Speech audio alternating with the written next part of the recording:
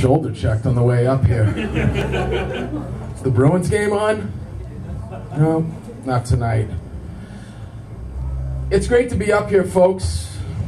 I uh, haven't had the opportunity to perform this close to hair update in my life. I could use some foils, as you can tell. It's been a while since I've done comedy, just getting uh, getting used to my surroundings here. Love the instruments everywhere. I have never met anyone, male or female, that's had sex with a trombone player. Have you? Think about that one. Who bangs a trombone player? Oh my goodness. But no, I've been out of the loop, been out of the loop uh, with uh, comedy for uh, almost a year now. And people are like, well, where you been? Fact is, folks, I had a short but rectally invasive stay in North Korea prison. But I'm back. Took it up the hoop a few times, but good to go. Good to go. Now, fact is, I had a, I had a really major head injury about a year ago, and uh, I don't know if anyone's ever experienced that here, but um, it sucks. Like massive concussions. A lot of things, uh, a lot of things don't work properly. You know, or or should I put it? They work when they want to work. Like I wake up out of a dead sleep at 2:30 in the morning, fucking rock hard. Absolutely rock. And the irony is, I'm, I'm laying face down in a stairwell. So, like, how is this? How is this possible? My girlfriend would get upset all the time, and I'm like, look, baby, I am the horniest version of flaccid. Like, you have, you have no idea. You have no idea. Winter's been pretty brutal this winter, wouldn't you say, folks? I don't know what you do about keeping warm, but uh, I started ramping up the fiber intake. Bear with me here. It's like God giving you your own space heater, you know? You just let them rip, especially if you're wearing thermals. It's like someone put a wet towel in the microwave for like seven minutes. I'm gonna get into the moral issues here, folks. Porn.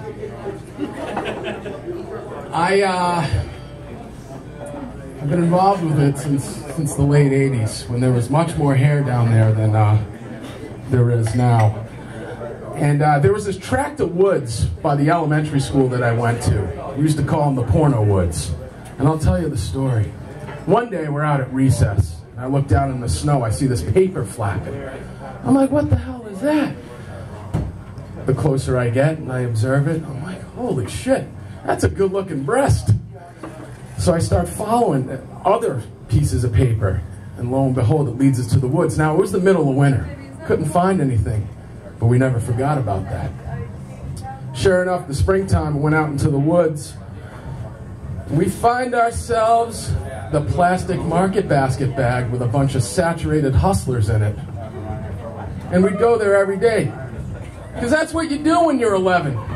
You hang out in the woods with your friends and get hard. right? Back then, it was a project to get those friggin' things.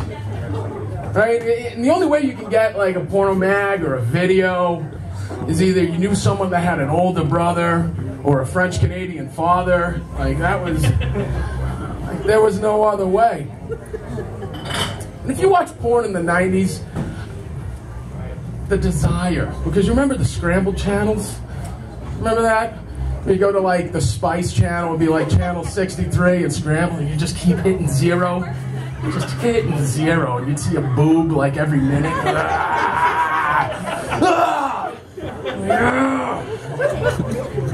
But if you didn't have the scrambled channels, you know, you went with like Telemundo, like the Spanish, you know.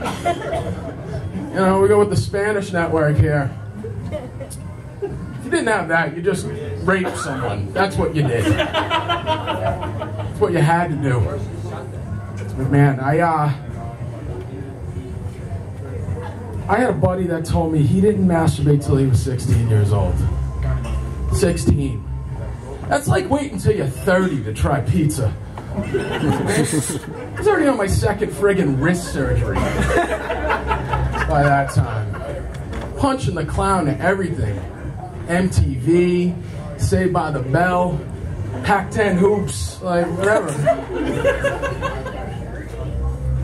But, um, shit. Sorry, let me refer to my list. Um, I'm gonna I'm gonna end on that highest note that I uh, that I left you with there, folks. This has been uh, been great to get back up on stage and uh, keep it going for all the comics tonight here at the old Witness. I appreciate that. And I'll give you back to your host. No, come this way, please. Around the pillar. Around. All right. I mean, after a shoulder check to bring me up, I'm going to do whatever, whatever you want. There we go. Let's keep it going. For the very funny Chris Bender. Yes. Yes, I got it.